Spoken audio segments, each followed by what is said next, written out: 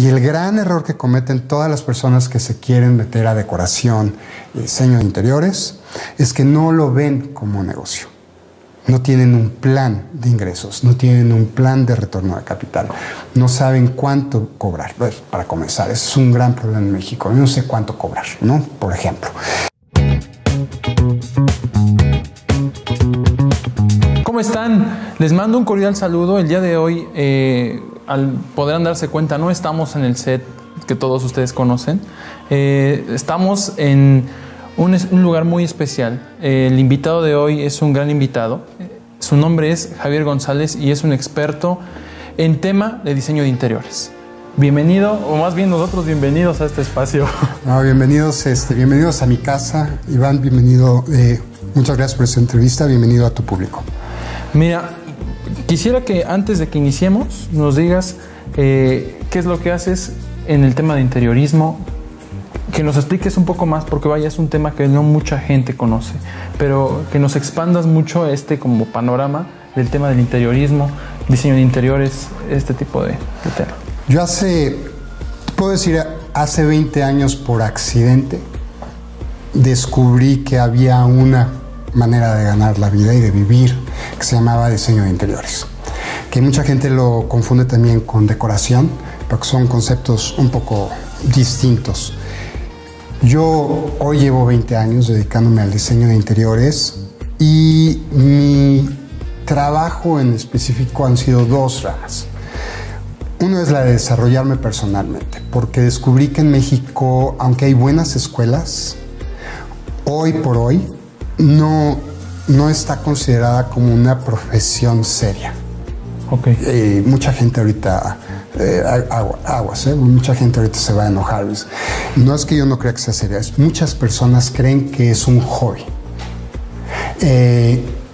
y durante 20 años estuve explorando todas las maneras en que podríamos crecer en el mundo del diseño de interiores y hacerlo al contrario, una profesión seria, respetada, con protocolos. Y el otro tema que me encanta del diseño de interiores es que ahondas en un proceso creativo que no tiene nada que ver contigo. Ese fue mi gran descubrimiento y por eso me llamó muchísimo la atención.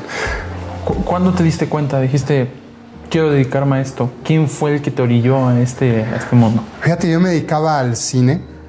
Yo era gerente de producción de cinematografía en México, en San Miguel de Allende en especial. Y mi labor era conseguir muchas locaciones y hoteles y operaciones para diferentes películas, telenovelas, revistas, todo eso. Y un día me pidieron algo muy interesante. Me pidieron hacer un hotel para cinco actores muy, muy importantes de renombre mundial, porque venía una, eh, venía una producción enorme de cine hasta Miguel Allende. Y teníamos la bronca de que no sabíamos dónde ponerlos a dormir. Porque la lista de requirements en ese entonces, en 20 años, hace 20 años San Miguel de Allende no es lo que soy, era, era una cosita chiquita. Durante el proceso fue cuando dije, yo no sé qué estoy haciendo en el mundo del cine. Y empecé a descubrir que esto era, esto era lo mío, esto era lo mío, esto era lo mío. Oh, y la persona con la que hice este hotel, que de hecho él sí era diseñador de interiores, me terminó convenciendo y me jaló y terminamos haciendo una sociedad. Y ahí comencé mi, gran aventura hace 20 años más o menos. Yo estaba chavo, todavía tenía 28 años, fíjate. O sea, los 28, ¿sabes? ¿Estudiaste eh, el tema de, cine? Cinematografía, estudié actuación, teatro. Y yo ya llevaba un rato haciendo todo ese proceso cuando dices, esto no es lo mío. ¿Qué, qué puedes recomendarle a estas personas que quieren iniciar en este mundo?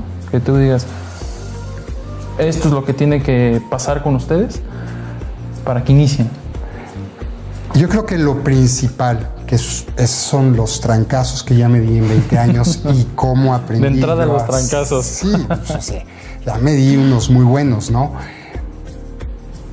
Sí requiere mucha creatividad, sí es hermoso saber combinar colores, sí es maravilloso irte de compras y todo.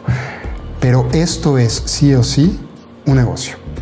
Y el gran error que cometen todas las personas que se quieren meter a decoración y diseño de interiores es que no lo ven como negocio.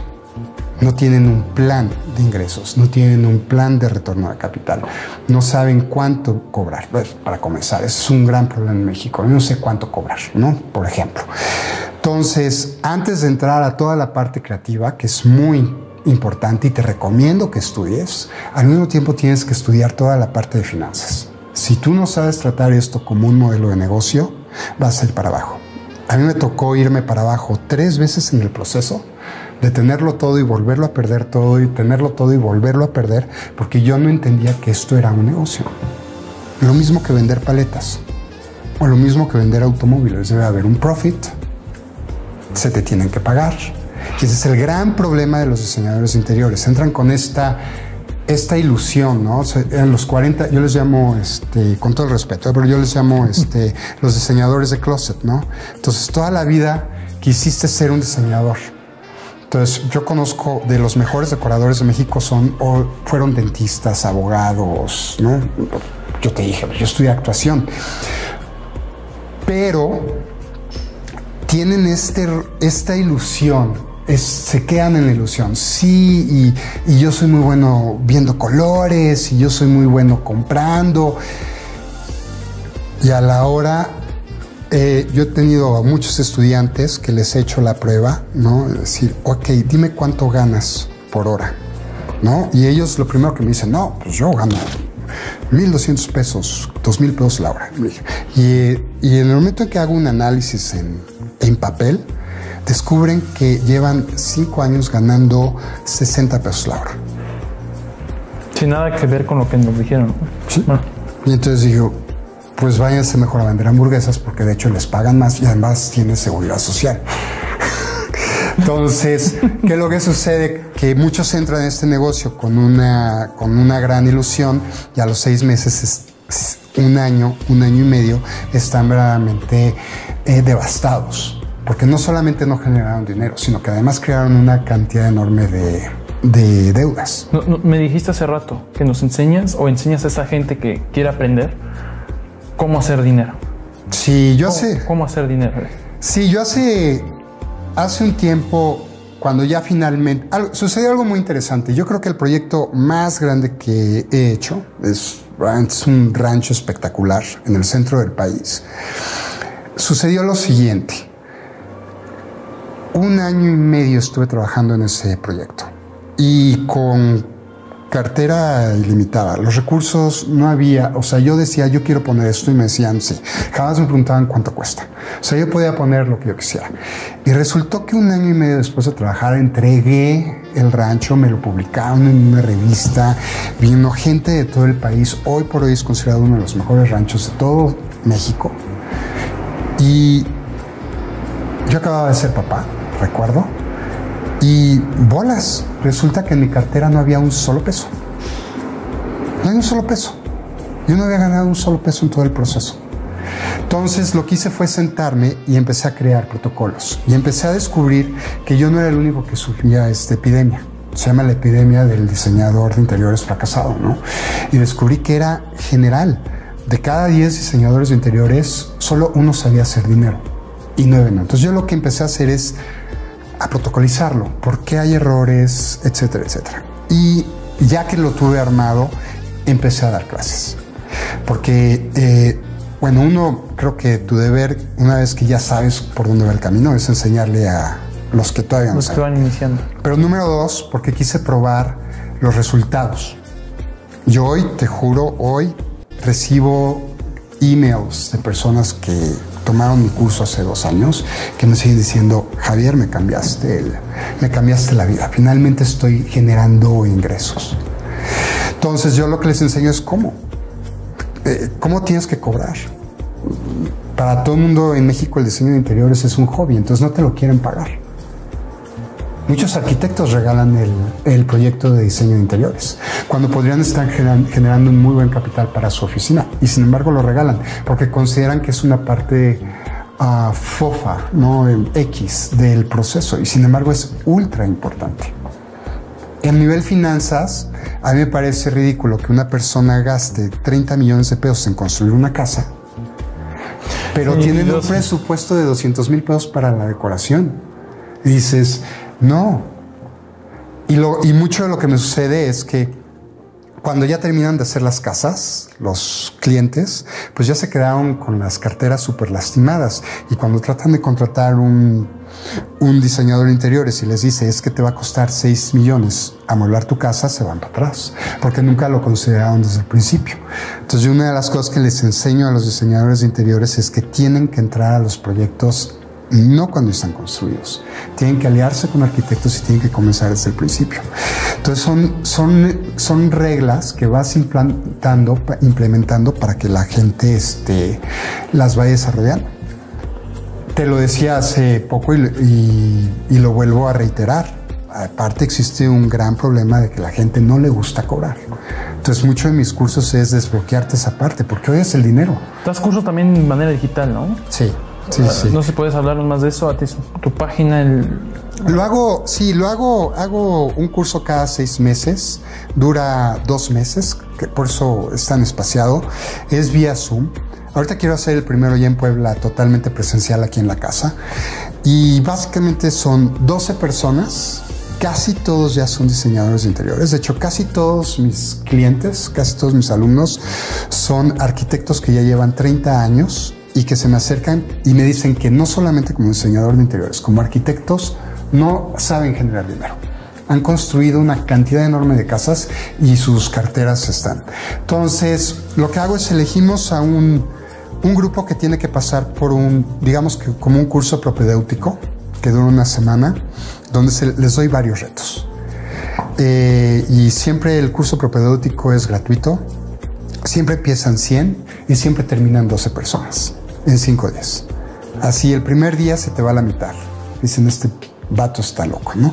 luego al siguiente se vuelve a ir a la otra mitad y luego a la otra quedan- mitad. quedan pum, hasta que quedan los que verdaderamente dicen, ok, lo que este cuate dice está un poco loco, pero puede ser que sea cierto. Yo le digo, si no has generado dinero en 20 años, dame chance de, por lo menos de, de, de decirte algo y que puedas decir, bueno, déjame ponerlo de práctica, ¿no? Casi todos en los primeros retos truenan. Ese es el problema del emprendimiento.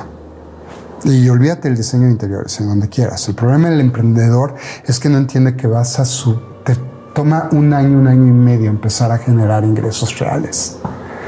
Y mientras vas a tener que sufrir hambre, te van a sangrar las rodillas y vas a tener que protocolizar y protocolizar y volver a protocolizar y volver a protocolizar. Entonces, durante las, ya que pasan por el curso propedéutico y entran a mi curso, durante ocho semanas les hago muchísimos, muchísimas pruebas durísimas de resistencia. ¿Cómo te diriges a los demás? No es que no me gusta tratar con personas. Pues, no. Discúlpame, lo vas a tener que hacer, ¿no? No, lo tienes que hacer porque eres vendedor. Es que a mí no me gusta que me digan vendedor. Entonces, es irles aclarando cosas y ponerlos en, en terreno. Eres vendedor. Eres un vendedor. Todos vendemos algo. Es que, es que yo solamente puedo trabajar seis horas a la semana. No, no, no, no. O sea, yo trabajo 12, 13, 14 horas diarias. Yo trabajo los domingos. Entonces tienes que entender que cuando vas a abrir un nuevo negocio, tienes que poner ímpetu. Y les hago muchos ejercicios sobre su persona. Cambia tu look, vístete bien, no tienes que invertir mucho dinero, pero vístete bien, mantente sano, haz ejercicio todos los días, aliméntate bien, lee cuatro libros al mes, métete a más cursos, estudia, yo sigo estudiando, yo no paro de estudiar, ¿no? Entonces, el curso es de darle argumentos contundentes que si al final del curso dices, no, pues no, e invariablemente yo termino con cuatro alumnos durante las ocho semanas. Y que son los que al final del día te dicen, dos, tres años después, no, qué bárbaro, me cambiaste la vida. Entonces, fíjate, de 100 personas, eh, ¿te, acuerdas de la ley del Pareto? ¿No? Es el 20%, sola- del 80%, del 100%. 80-20. Sí, solamente el 20% va a superar el curso y solamente el 4% va a ser realmente exitoso. Exitoso, que es el 20 del 20, ¿no? Entonces yo sigo recibiendo correos de ese 4%. Esas cuatro personas que de 100 finalmente lo, lo lograron. Y ese es el gran, eh, por eso ves con tristeza enorme el mundo del emprendimiento, ¿no? Dices, no llegas a tiempo a tus citas, es un tema muy local que traigo ahorita. Lo tenía, sorry, lo tenía que escupir, ¿no? O sea, pero bien, sorry, perdón, y pueden empezar a aventar pedradas y piedras, y es más, ya saben dónde vivo y lo recibo con lo que quieren. Pero por el amor de Dios, no puedes ser exitoso si no llegas a tiempo a tus citas. Punto. Y es un tema de emprendimiento, ¿no? De que tienes que entender que vas a, vas a sufrirla. Mis, mis cursos de diseño de interiores no se tratan ni de combinar colores ni nada por el estilo. Ok. Te, te enseño a cómo salir adelante. Justo te quería preguntar y que nos, para cerrar este bloque, que nos platiques más de este set, de este espacio. ¿Qué estamos viendo ahorita?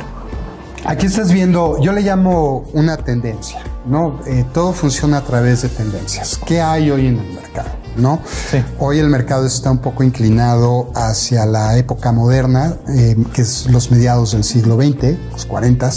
Entonces, por ejemplo, tenemos esta consola eh, francesa.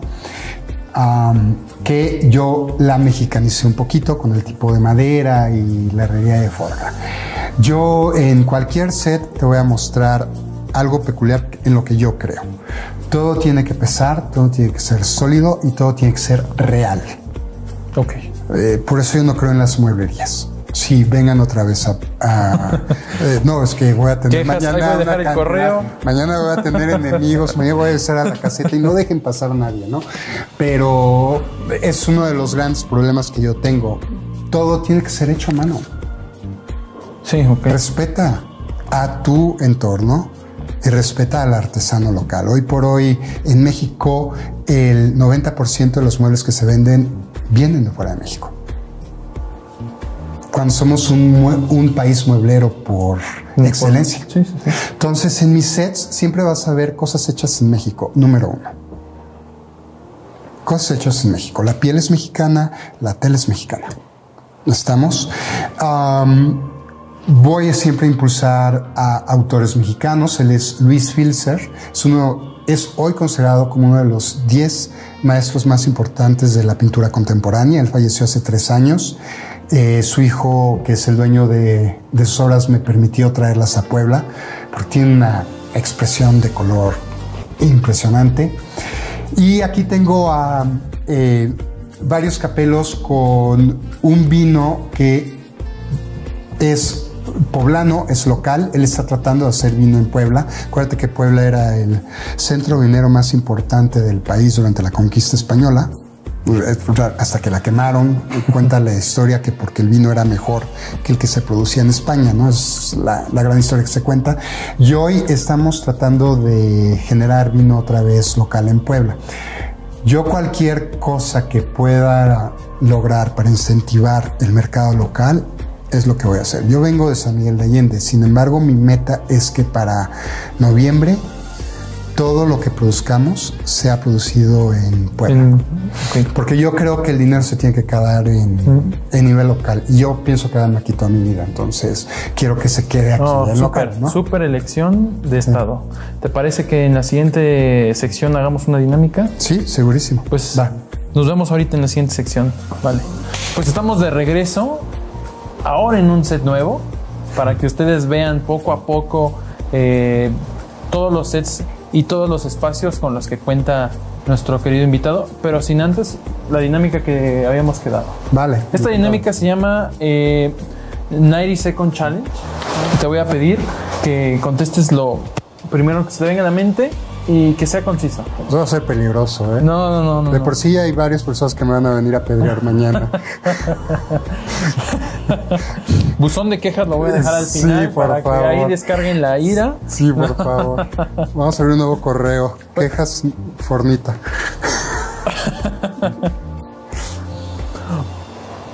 ¿Listo tiempo? Listo, 90 segundos, venga. Ciudad favorita. Puebla. Tu mayor defecto. Soy narcisista. Mueble favorito. Mi cama. Descríbete en una palabra. Exitoso. Trabajo que más hayas disfrutado. Diseño de interiores. ¿Cuánto tiempo le destinas a seguir aprendiendo? 7, 24, 365. Si no fueras diseñador de interiores, ¿serías? Actor. Superpoder que elegirías. Superpoder que elegiría, wow, ser invisible.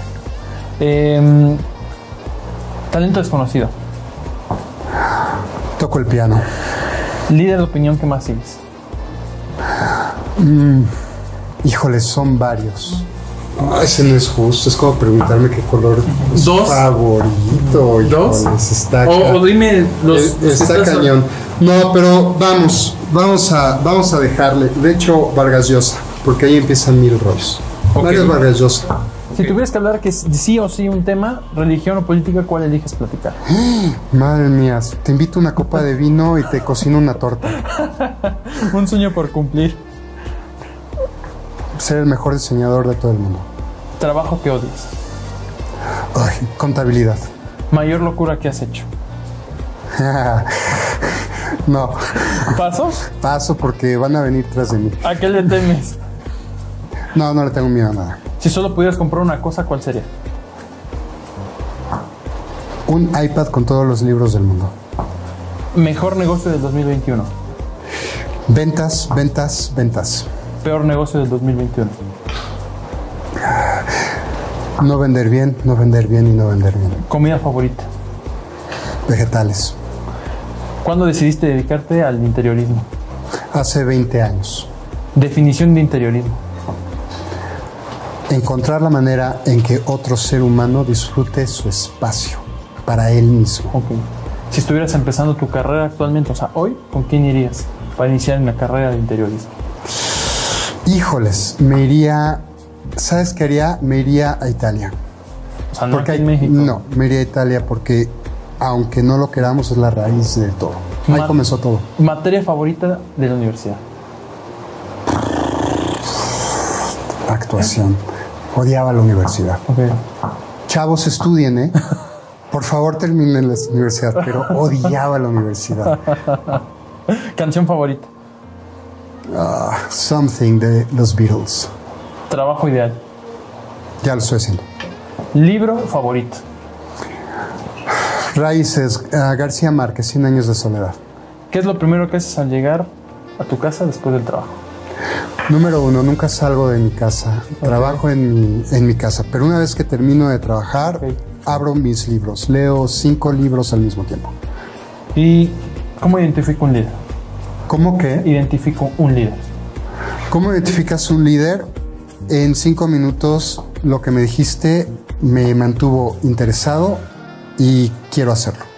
Y por último, si pudieras quedarte toda tu vida en una edad, ¿cuál sería? Si yo pudiera mantenerme en una edad, 98 años de edad, porque pienso llegar a ella y ya esa es la que quiero vivir. Súper. Pues reto terminado. Eh, vaya, vaya que sí, no esperaba esa respuesta de los 98 años. La mayoría elige 40 años, 30, que es donde se sienten a tope. Pero 98 años, vaya, qué respuesta. Yo apenas acabo de llegar a la mitad de mi vida y ese es un gran... Por eso los chavitos están tronando a toda la gente adulta, con todo el respeto del mundo. A ver, más quejas, más quejas. Sí, sí, sí. ahí, dejo el, ahí dejo el correo. Pero por- sí, no, pero por eso los, por eso los chavitos están comiendo el mundo. Espérate, yo acabo de cumplir la mitad de mi vida. Tengo 48 años. Y, me- y tengo una energía impresionante. Con la diferencia de que cuando yo tenía 20 años cometí una cantidad de burradas extraordinarias. Tenía mucha energía, pero muy poca experiencia. Hoy tengo energía y experiencia y cuido mi salud, cuido mi alimentación, hago yoga, hago meditación todos los días, soy vegetariano, entonces tengo tal energía que yo espero a los 98 años seguir creando. ¿Por qué? La gente que me dice que se va a jubilar a los 60, ay, pobrecitos, tenuritas. Sí, o sea, ya a los 60 ya están pensando. O sea, a los ya 12 se van a años ya se acabó mi vida. No, hombre, espérate. A los 12 años, en 12 años apenas mi hija va a estar estudiando en la universidad. No, no, no, olvídate. 98 años. Un ser totalmente libre. ¿no? Quisieras platicarnos acerca de este espacio. Ya estuvimos platicando acerca del corazón, pero digo, El- tú el- platícanos. El espacio es.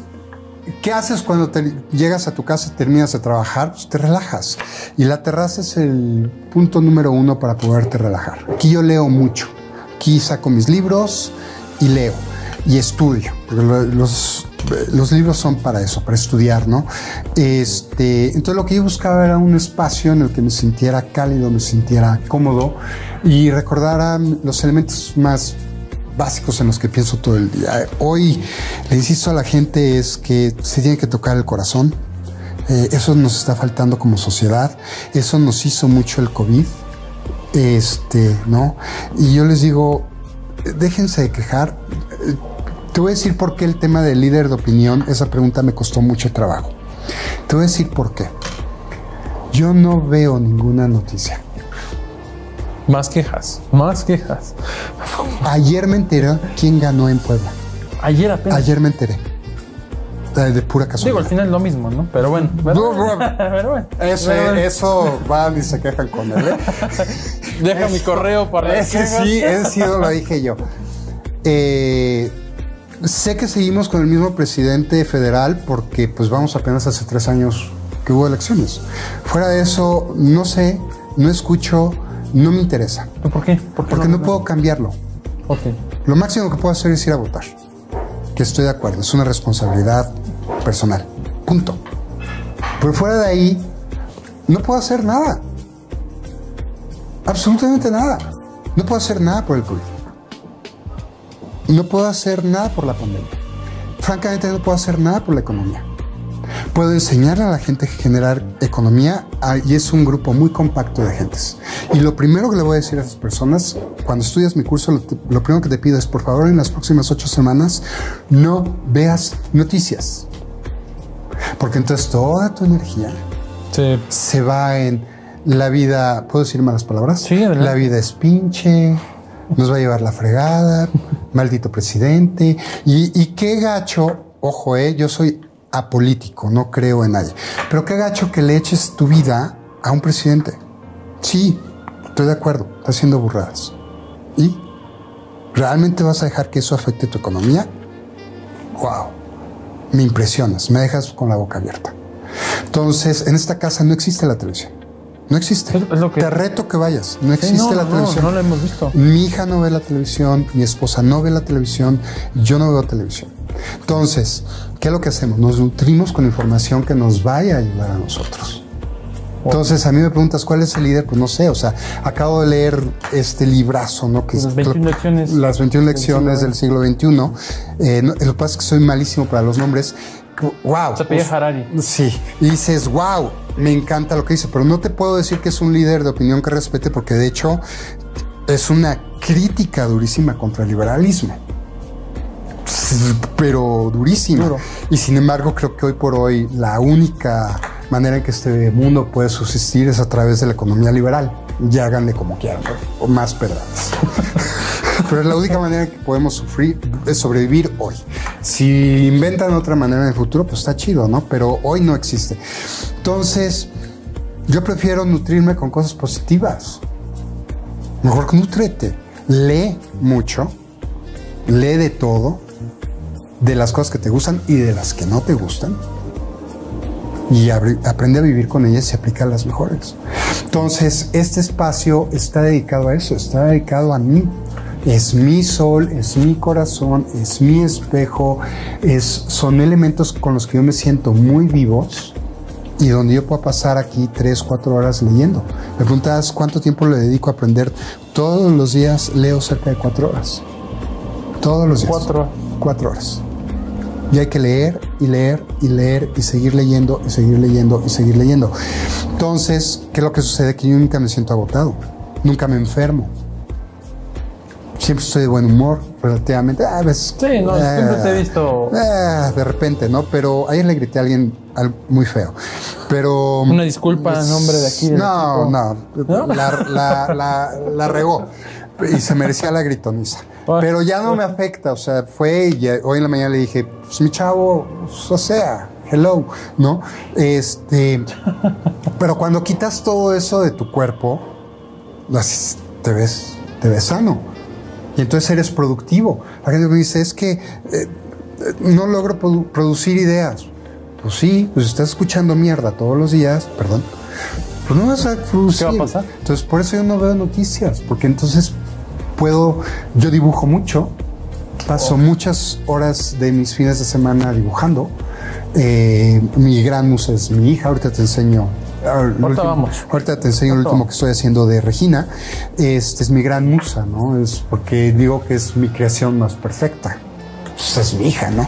Pero eso ayuda a que mi mente se- y mi sistema esté limpio, sin medicamentos, sin ansiedad. Veo a todo el mundo ansioso, no duermen. ¿Te, te parece que hablemos más de ese tema? Quisiera abordar un tema importantísimo sobre el, el momento eureka. ¿De dónde nacen estas ideas? ¿De dónde nace todo esto? Pero eso si quieren lo vemos en el siguiente. capítulo, Órale, va, ¿Vale? Pues vamos para allá. Va. Pues estamos en un nuevo set. Digo, este es un lugar muy especial. No sé si nos podrías platicar más de este lugar. Claro, bueno, es mi estudio. Aquí es donde paso literalmente todo, casi todo el día. Aquí es donde surgen las ideas, aquí es donde medito sobre qué voy a hacer, cómo lo voy a hacer, aquí plasmo mis proyectos. Eh, toda esta mesa que ves aquí, pues es, eh, siempre que vengas la vas a ver diferente porque estoy motivándome o a, a un proyecto o a otro proyecto, estoy haciendo diferentes presentaciones, aquí tengo mis libros, mi biblioteca, este, entonces es como que mi lugar más, más íntimo. Más íntimo. Quería preguntarte, ¿en qué momento alguien que se dedica a esto encuentra ese momento de eureka, ese momento de, de inspiración? Es un ejercicio de todos los días. Eh, decía este Jorge Luis Borges que él se sentaba a escribir todos los días de 8 de la mañana a 3 de la tarde. Y el 80% de lo que escribía se iba al basurero y solamente se recuperaba el 20% y seguía reescribiendo. Y eso es la creatividad, es un ejercicio de todos los días y de estar creando y desechando ideas. Entonces yo, mi proceso es muy claro, yo todos los días medito, tanto en la mañana como en la noche. En pocas palabras, vacío mi mente, porque es la mejor manera de poder escuchar. Y básicamente lo que digo es que este día yo esté lo suficientemente alerta para escuchar las ideas. Y lo que sucede es que efectivamente, cuando limpias tu mente, eh, ya te vuelves muy conocedor del tema, pero eh, es un ejercicio. La gente y, los, y las cosas que suceden empiezan a, a suceder, ¿no? Este, a Regina el otro día se le rompió una mesa Una y mesa. le dije, espérate, espérate. Y, empezamos a jugar con la mesa y hoy por hoy es la pieza de arte más importante de la casa, ¿no? Y está toda rota, ¿no? Entonces, eh, lo escuchas como mensajes y empiezas a escuchar, claro, por algo está sucediendo esto, por algo sucede el otro. Entonces, pues ahí va, ¿no? tienes que ir aprendiendo a escucharte, escucharte. Y de repente vas caminando en la calle y- y aparece el famoso Eureka. Y lo que tienes que hacer es parar en ese momento y escribirlo. Y acordarte. Y desarrollarlo. Y mucha, mucha gente queda perdido. Eh, mucha, cree que- mucha gente cree que el tema del Eureka es, tengo la idea y ya lo logré. ¿No? ¿Cuántas veces fue que Edison tuvo que fundir cuántas bombillas para llegar? ¿no? Para finalmente llegar al- a lo que él quería. La gente se desespera. Entonces desecha muchas ideas. Hay ideas que yo he tenido que siete meses después es que realmente... Ay, perdón. Hay muchas ideas que son siete meses después, luego logro empezar a retomar y a desarrollar, porque cuando me llegaron no, no estaban lo suficientemente maduras. Tienes que estar dispuesto a divertirte y hay un gran, gran, gran condición. Tienes que estar dispuesto a equivocarte. Y a la gente le choca equivocarse. Tú quieres que te salga la primera y dices a la primera no te va a salir. Tienes que hacerlo una y otra vez, como el prototipo que te decía, ¿no? ¿Te lo podemos mostrar? Sí, claro. Es un prototipo, una artista poblana. Estamos haciendo los cinco corazones más mexicanos, rodeados del emplumado de Talavera. Aquí vas a ver que hay un par de errorcitos de horno, pero aparte, pues, eh, ella me decía, pues, ¿qué hacemos? Un render. dije, no, pues, hay que hacerlo. Y hay que ver en qué estuvo el error. Es que en render no se ve. No, no, pues no, y hay que ver cuál fue el error y cómo y qué cambiaríamos. Y, y tienes que estar dispuesto a invertir tiempo en, en, hacerlo, ¿no? Entonces, mucha gente se queda en, ay, no funcionó, paz. O mucha gente le da miedo los resultados. Si tú eres una persona que te da miedo el resultado, nunca vas a ser creativo. Yo he hecho cosas loquísimas que han funcionado muy bien y he hecho cosas mucho más locas que no funcionaron. no funcionaron. Y tienes que aceptarlo. Esto no funcionó. Bueno, pues no. Lo que sigue. Entonces vas empezando a agarrar callo, ¿no? Entonces vas empezando a entender que perder es proceso de la vida.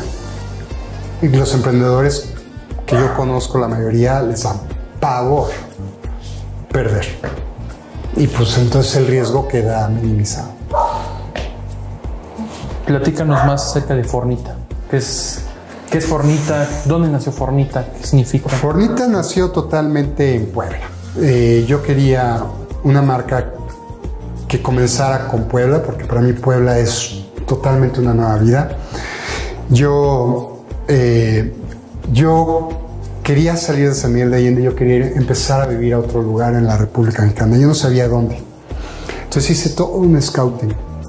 Fui a Monterrey, fui a Los Cabos, no me gusta jugar golf. Este, fui a Monterrey, pues no como carne. Más quejas, más quejas, se vienen más quejas. ¿no? Este, fui a Guadalajara, demasiada gente, son adorables. ¿Ciudad de México? Ciudad de México no, demasiado caos. El caos es tan grande que la gente no puede ser creativa. De hecho, los más creativos en la Ciudad de México están saliéndose de la Ciudad de México porque no pueden ser creativos ahí. Fui a Puerto Vallarta, no, no me volvió loco. Eh, y un día me levanté, literal, y le dije a mi esposa, me voy a Puebla. A ver. A ver. Sí. Y llegué a Puebla, me vine en camión además, porque como que no quería manejar, y me vine meditando todas esas seis horas en camión. Y cuando llegué a Puebla, lo supe. Lo supe. Mi cuerpo me dijo, es aquí. Aquí es donde vas a crecer, aquí es donde hay una, un gran florecimiento. Yo le estoy diciendo mucho a las personas, Puebla es el centro del país. Hay un gran potencial, depende de cómo se dejen los poblanos eh, y, dejen expandirlo, ¿no? Ese es otro, es otro tema.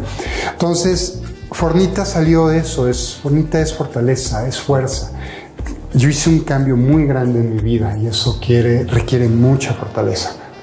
Entonces no le podía poner huevos a la empresa. Entonces decidí ponerle formita, ¿no?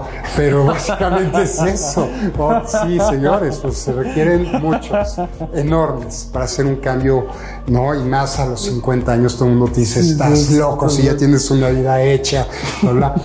Pero lo que pasa es que Puebla tiene una fuerza interna como ustedes no tienen idea. Están rodeados por cinco volcanes del tamaño del mundo así en espiral, tienen una de las pirámides, sino que La más grande del mundo, del la más mundo, grande del mundo. y ahí la tienen, ¿no? Y, Sí. y si vas y la visitas, el nivel de energía es espectacular. Y de hecho, fue por un accidente que la Ciudad de México fue la capital del mundo, más pedradas pues, de, de México, pero Sí. la verdad es que Puebla debi- debió haber sido La leyenda de la catedral Pues- y ahí nos podemos ir. no, no, bueno, nos podemos pasar horas y es algo que respeto mucho. Eh, entonces, en Fornita lo que decidí es que yo sí quería traer todo mi know-how y las cosas que yo he diseñado, mis libreros, el, mobiliario, los comedores y las sillas, pero mi plan es y que se ha dado muy bien es reunir todos estos grandes artesanos, fotógrafos, artistas de Puebla para crear una línea que sea totalmente poblana. No tradicional, no clásica, necesitamos que sea disruptiva porque eso es lo que el mundo nos está pidiendo hoy. Yo todos mis fundamentos son muy clásicos y sin embargo estoy haciendo cosas muy disruptivas. ¿Y cómo podemos sacar eso fuera de Puebla? Eso es lo que estoy tratando de hacer y de ahí surgió. Yo, yo, yo quería preguntarte, Fornita, ¿qué clase tiene? ¿Qué está tirada al contemporáneo? ¿Está tirada al, al- al clasismo? Todo, o sea, Es, es total, yo le llamo atemporal. ok. No está casado con una sola línea. Yo soy muy reconocido por hacer muy buenas haciendas de tipo español. tengo todo el know-how de cómo hacerlo. Sin embargo, el periodo moderno y posmoderno europeo y norteamericano, la verdad es que me encanta, este, especialmente el francés, me puede enloquecer. Me encanta todo lo que tiene, viene de Marruecos, eh, de esa cultura pues, que de todas maneras, si la vas deshilachando, España estuvo conquistada por los moros muchísimos años y por ende muchos de nuestros muebles tienen detalles moriscos. Entonces, yo preferí con Fornita abrir la carta y dejar de catalogarlos. Si se ve bien y, va a durar y no va a ser una moda, ojo, o sea, es un estilo que va a ir perdurando eh, durante los años, le pertenece a Fornita. Y entonces es lo que estamos tratando de crear con todas las combinaciones de, diferentes piezas. Para terminar este bloque, eh, nos comentaste que tienes los cursos, las clases próximamente presencial, en línea. Un consejo que nos puedas dar a la comunidad, si alguien te dice, oye, ¿cómo puedo iniciar a hacer dinero? ¿Qué le dirías? Número uno, ama lo que vas a hacer. Número dos, no necesitas capital para empezar un negocio. Esa es la gran mentira y el mito que le han metido a todos los niños desde chiquitos. Es que necesitas capital para invertir. Mentira. Ese negocio empezó con un capital de 5 mil pesos hace 20 años. O sea, no. Y créeme, en ese entonces 5 mil pesos no era, no era la gran cosa. la gente está clavada que para hacer dinero requieres dinero. Y, y, si no sales de ese bucle, yo he tenido mucho dinero y he tenido muchas deudas y he tenido dinero. He, pasado por todos los procesos y he aprendido que es un circuito y he, y he aprendido que es un, es un ciclo. Que puedes aprender a, a manipular y que puedes aprender a vivirlo de mejor manera. Entonces, olvídate que necesitas capital. Necesitas es una excelente idea. Y cuando tienes una excelente idea, yo siempre, cuando vienen, mucha gente viene, me dice, tengo esta idea, y le escucho y dices, ok, mañana, ya vas mañana a patentarla. No, pero es que yo pensaba que en unos dos, tres años, cuando esté más establecido. Lo que no entiendes es que a nivel conciencia, cuando tú tienes una muy buena idea y destapas, si el universo, Dios, pon el nombre que tú quieras porque si no ahí sí se van a venir, ahí se van a venir. Si tú abres esa idea y Dios observa que no estás haciendo nada para lograrla, le va a decir que la haga Él. Y la va a hacer la primera persona que agarre y diga, este tiene el nivel de conciencia suficiente para aventarse el negocio. Entonces, acción, acción, acción. Y sí, consíguete un trabajo que te dé de comer, lo más seguro es que vas a trabajar 20 horas. El primer año, para que tu idea florezca, vas a dormir 4 horas al día, vas a comer solo frijoles, son muy ricos. Son muy buenos. Son deliciosos, llenos de proteína. Deja de comprarte cosas de marca. No necesitas un carro, no necesitas ropa, no necesitas un reloj, no necesitas nada de eso. La consecuencia es que un día te va a llegar, ¿no? Si es que tanto lo quieres. Y ponte a trabajar. Y ponte a aprender.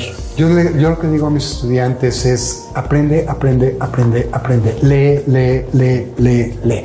Toda esta biblioteca se trata de eso. Por ejemplo, esta biblioteca la tienes dividida, nos habías comentado. Sí, bueno, la tengo dividida. Es todo lo que a mí me mueve en el mundo del arte y de diseño de interiores y lo que más me gusta y de dónde más me inspiro, ¿no? Este, toda esa parte es literatura. A todos, todos los que quieran emprender les digo, si quieres conocer la psicología de tus clientes, porque hagas el emprendimiento que hagas, ¿eh? así sea vender chicles, tienes que saber cómo piensan los demás. Y la mejor manera de aprender psicología de cómo funcionan los demás es que tienes que leer literatura. Especialmente tienes que leer mucha literatura mexicana, que es esta parte de aquí arriba, ¿no? Porque si lees a Luis Espota, si lees, eh, bueno, latinoamericana, si lees a Vargas Llosa, si lees a García Márquez, si lees a Isabel Allende, vas a entender cómo funcionan los... Si lees a Octavio Paz, puta, ¿no? Vas a entender cómo funcionan los mexicanos. Si yo trabajo para mucho norteamericano, entonces tuve que leer mucha literatura norteamericana para entender por qué piensan así, por qué actúan así, ¿no?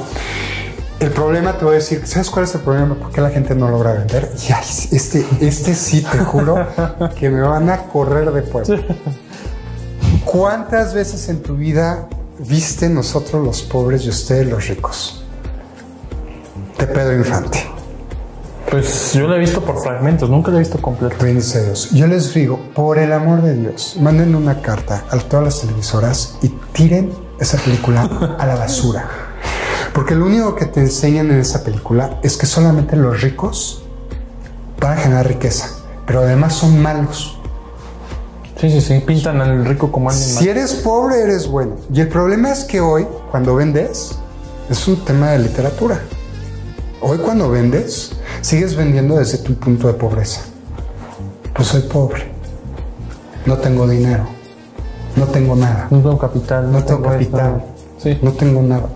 ¿No? Y de este lado tengo todo lo que es la parte de autoconocimiento y crecimiento personal. Cómo medito, hago yoga, cómo hago yoga, cómo se vende, qué hago, qué haces con tu físico, con tu presencia. Ojo, no estoy diciendo que seas bonito, guapo, feo, gordo, alto, blanco, moreno, güero, vale, reverendo pepino. El tema es cómo te proyectas, qué tanta confidencia le das a tus clientes. Entonces, no, es que tengo esta gran idea. No, pues vas a vender un pepino. No, no, ¿cómo vas a vender? ¿Cómo te vas a mover? Mencionas mucho el tema de vender, Sí, que es importantísimo. importantísimo. ¿Qué consejo nos darías para ser mejor vendedor? Sé tú mismo. Deja de ocultar o de pretender lo que no eres. Deja de, pretender que eres X, porque el cliente, aunque no lo racionalice, su cuerpo le va a decir, no te metas porque es falso. Entonces, la manera en que una persona te va a comprar es porque cree en ti. Y entonces empieza lo divertido, porque de- eh, es que me tengo que vestir. No, vistes como quieras. Si tú quieres irte a tus juntas descalzo, Sí, sí, como quieras. hazlo. Porque la gente necesita conocerte como eres. Y número dos, pues sí, tu producto tiene que ser bueno. Pues sí. Si no, si no vendes un buen producto, pues no, no, nadie te lo va a comprar. Y pues para eso tienes que irlo probando y probando y probando hasta que digas, oh, ahora sí tengo un buen producto. Número tres, dedícate a esa idea y solo a esa idea y cásate con esa idea y muévete con esa idea. Puedes manipular muchas cosas en el proceso, pero hay mucha gente que hoy quiere vender paletas, pero como no vendió paletas porque se le ocurrió abrir en invierno, o sea, hello, ¿no? Entonces, ah, no, ya no, ahora voy a vender chocolate caliente. Y entonces llegan en verano y abren, venden chocolate caliente. Sí, sí, sí. ¿No? Entonces, tienes que, que aprender los ciclos de tu negocio. Yo en Navidad no vendo un carajo. Porque ¿quién quiere, comer, ¿quién quiere comprar una cama en Navidad? Entonces tienes que aprender que tus negocios tienen ciclos. Hay ciclos de ventas, hay ciclos de ventas muy bajas. Entonces tienes que tener la paciencia. Entonces tienes que enfocar en un solo negocio. Yo ahorita veo eh, varios empresarios, no solamente en Puebla, en muchos lugares, que no han establecido ni un solo de sus proyectos y están metidos en cuatro al mismo tiempo. No vas a poder, no lo vas a lograr. No lo vas a lograr. Y último, tienes que ser, para vender, tienes que entender que el mejor vendedor de tu empresa eres tú. Entonces yo paso el 80% de mi tiempo vendiendo. Y tienes que tener un equipo de personas que te apoye en el resto de actividades. Y si no haces eso, no lo vas a hacer. Porque tienes que vender todo el santo día. Tienes que vender durmiendo. Tienes que vender en el excusado. Sí, cualquier. Cualquier- tienes que decir, quiero vender, quiero vender, quiero vender, quiero vender, quiero vender, quiero vender. Y tienes que buscar oportunidades de venta. Me encantan, ¿no? Es que, es que ya puse menús del espectacular. ¿Y? ¿Qué estás haciendo para atraer gente a tu espacio? ¿Qué estás ¿A quién estás vendiendo la idea? ¿Qué estás atrayendo? Eh, No, pues ya puse mi espectacular, me van a llamar por teléfono. Hay, hay muchos malos conceptos de lo que es lo que es vender. Yo, hay un libro buenísimo, ese lo tengo en digital, pues se llama Sell Like Crazy. Híjoles, todo el mundo debería de, le- de leer ese libro. No, no sé cuál es el autor, pero vende, vende, vende, vende, vende todo el tiempo. Es mi gran recomendación. ¿Te parece si cambiamos de set? Sí, segurísimo. Súper, y pues ahorita nos vemos en el siguiente set. Como raro, así como, me siento, no me siento. Métete la zona. Yo siempre, siempre le he dicho a mis alumnos que, porque siempre dicen, no, ¿y cómo se te quitó? ¿Por qué eres tan desinhibido? Ajá, sí. Entonces, yo estudié teatro y actuación en CUT, en el Centro Universitario de Teatro de la UNAM. Y ya habíamos, eh, estábamos entrando al curso propedéutico y nos habían dicho que ya habían audicionado cerca de mil personas. Yo tenía 20 años, 19 años. Y solamente iban a quedar 20 para el propedéutico. Y, el- y cuando llegamos, había 60 alumnos, ¿no? El propedéutico dijimos, chinga madre. Pues éramos 20, ahí decía el papelito, que bla, bla, ¿no? Y pues yo era uno, uno de los elegidos, ¿no? De los 60. Y entonces estamos ahí en, la- en el salón de clases, primer, en sí, en un, para que lo imaginen, es como un salón tipo ballet, ¿no? Con el piso de duela y, Sí, el y todo, bla, bla, el espejo, bla, bla. Y llega nuestro primer profesor de actuación dice, tienen 10 segundos, todos se quitan la ropa. Completamente encuerados y desnudos en 10 segundos. Yo, sas, sas, sas, no, así a su madre. Todos éramos hombres y mujeres y en 10 segundos habíamos 20 personas en el centro y 40 personas totalmente paralizados. Y el, el maestro dijo, se, acaba, se acabó la audición. Entonces los 40 que están allá, gracias por participar, se pueden regresar a sus estados de origen. Y los 10 que ya estábamos en pelotas o en boobies, como lo puedas ver, estábamos, dijeron, ahora sí se pueden poner la ropa, ustedes son los que se quedan en el curso propedéutico. Órale. Y una vez que pierdes tu vulnerabilidad totalmente desnudo enfrente de 60 personas que nunca habías visto en tu vida, no, no, caputo. No vuelves a, no vuelves a, a, sentir- no vuelves a sentir nada. ¿Qué es lo que puede pasar? What? Ya te vieron la somos- lonja, ya te vieron la nalga, ya te vieron el tamaño, ya- o sea, what? O sea, ya. O sea, y esos chavitos y chavitas van a ser tus compañeros los próximos tres años. O sea, ya nos volvimos hermanos. Todo estaba dicho. Sí, no, O sea, todo estaba dicho. No había todo. O sea, nos habíamos visto los pelos todos. Entonces, pues ya, ¿no? Y uno que otro depilado, ¿no? Entonces, pues ya. Sí, sí, está incómoda, está, está fuerte. Sí, Entonces, está- la gente, ¿cómo vas a crecer? Pues rompiendo las reglas. Sí. Y la crítica, pues es que la gente se va a enojar conmigo. Pues te digo, sí, te van a aventar pedradas. ¿Y? So what? ¿Qué te va a hacer? Vienes solamente una vez a vivir en el mundo. Una vez. Piénsalo. ¿Cuántos años tienes? 19. Puta. A este niño le faltan mínimo 70 años en este mundo. Y eso mínimo, así. Mínimo. Porque lo más seguro es que para cuando él tenga 60, 70 años ya va a haber toda una tecnología distinta, ¿no? Ella tiene 11 años, imagínate. Entonces, ¿te quedan 60 años en esta vida? Más pedradas. Reviéntate. Haz cosas que nadie hace, carajo. Y entonces te vas a volver excelente en ventas y excelente en los negocios y excelente en lo que haces. No hay para dónde moverte. No hay para dónde moverte. Quítense el mentado miedo. Ahorita podemos grabar un TikTok de eso. Si quieres. Vete en pelotas por... irte en pelo- ¿Cómo irte en pelotas por la ¿Cómo ir en pelotas por la vida? Ah, No, no le digas eso, porque- No digas eso, porque ahorita.